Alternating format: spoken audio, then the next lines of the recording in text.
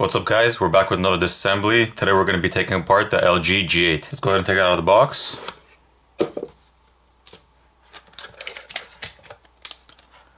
It's a very good looking phone, especially the red color.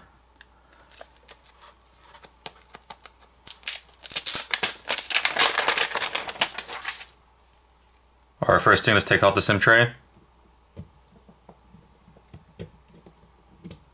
Alright, now the back has a fair amount of adhesive underneath, so it's going to be somewhat difficult to pry off, but you're going to have to work your way around gently applying heat and prying it off with your plastic pry tool. I already took this apart once, so it's going to be fairly simple for me. Just get your pry tool in one of the corners and try to use a plastic pry tool so you don't damage the housing or the frame of the phone.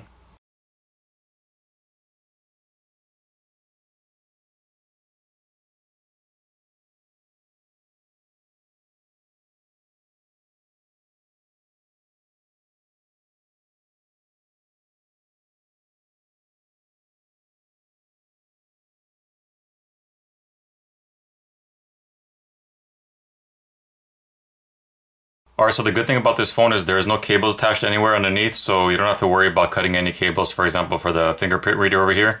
So you could just pry the back off once you have the adhesive loose. And it just makes contact over here to the pins over here on the board for the fingerprint reader. Alright, next you have 14 Phillips screws throughout the phone you have to remove. Go ahead and remove those. Alright, once the screws are out, you're going to pry this plastic piece over here that has the wireless charging coil over here. Just pry it up and remove it.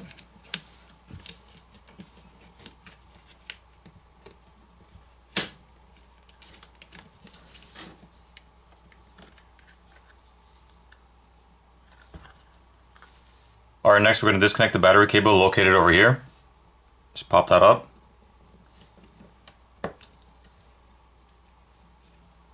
Now we're going to remove the speaker housing assembly down here. Lift that up.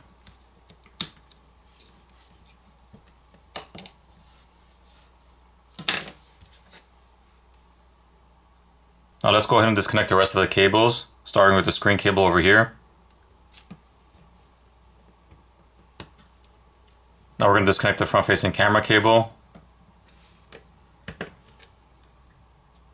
And then we're going to disconnect this cable over here that goes for the sensors on top. You got two cables over here you need to disconnect as well.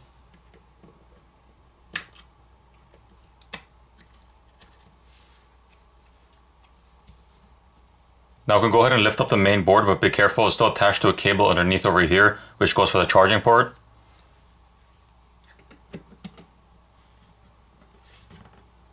Be careful those cables don't get in the way.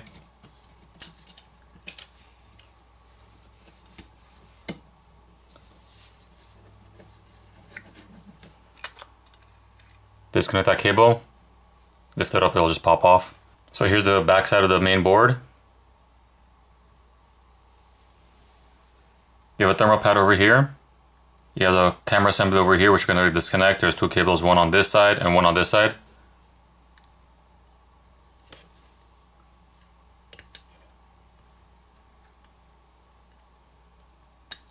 Now in order to remove the camera assemblies, these two are separate, so you just have to pry it off the board it's held on with some adhesive underneath. And here's the front side of the board.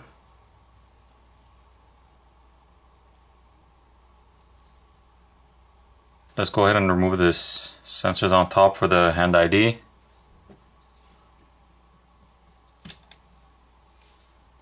So here's that new nifty feature the LG G8 has with the front facing sensors, the hand ID sensors.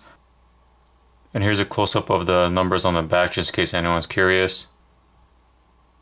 Alright, so over here, right behind the screen, I believe this is going to be the motor for that new feature with the screen that gives sound without an earpiece actually being present, no holes in the front.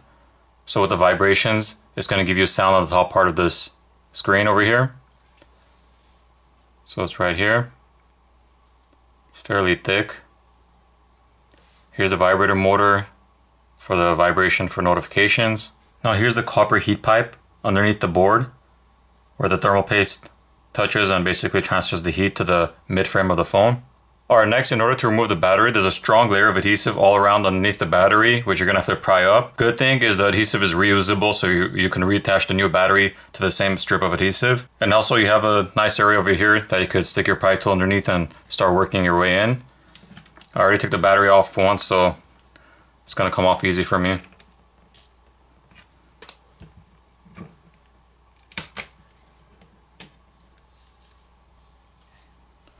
So here's the battery itself. Next we're going to remove the vibrator motor over here.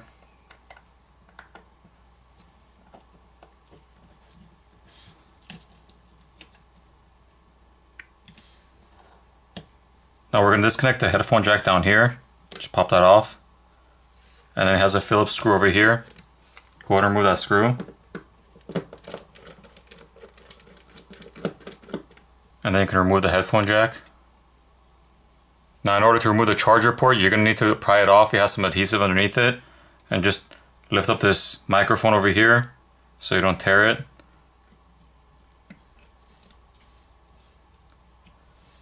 And then lift up the cable from over here.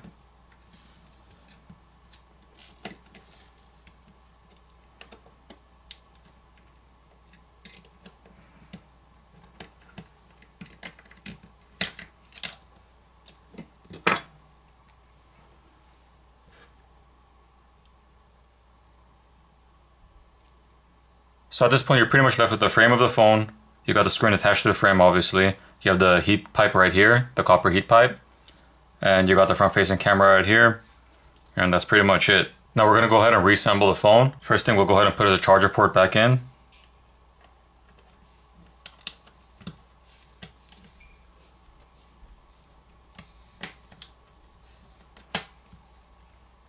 Now we'll put the headphone jack back on. Put in its place, screw it down.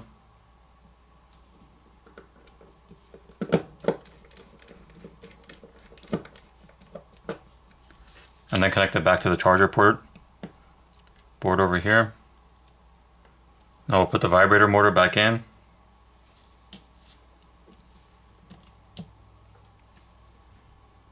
Alright, next you're going to connect the charger port cable over here back to the bottom side of the board.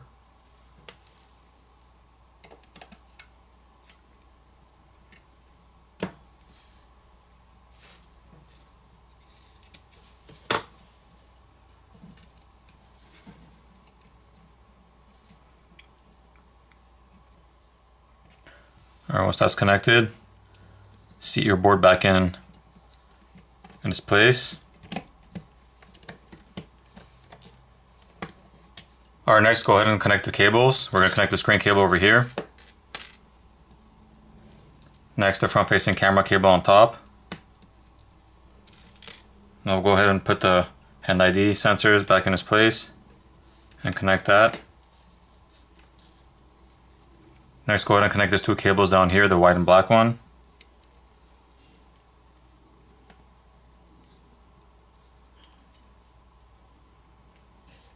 Now we can go ahead and place the battery back in. Press down so the adhesive can reattach itself. We'll go ahead and put the speaker assembly back in its place. Next, go ahead and connect the battery cable back to the main board.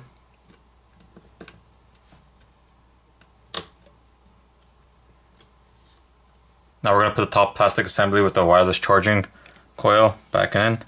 Pop it back in its place.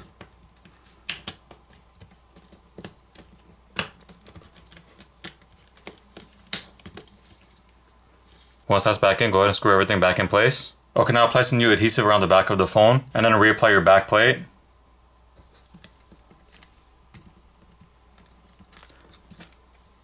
And then go ahead and power on the phone.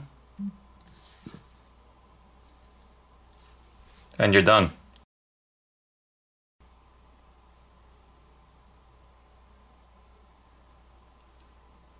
Easy peasy, yep, and easy.